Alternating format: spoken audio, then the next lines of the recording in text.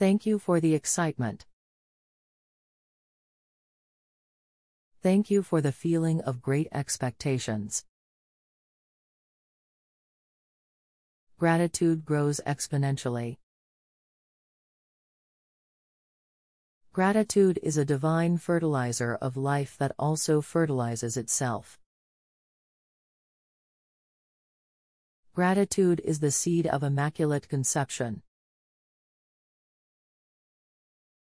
I am sustaining the focus of my conscious awareness on my desires' outcomes. I am maintaining an awareness of the feeling of being who I am deep inside. I am maintaining an awareness of the feeling of doing what I love.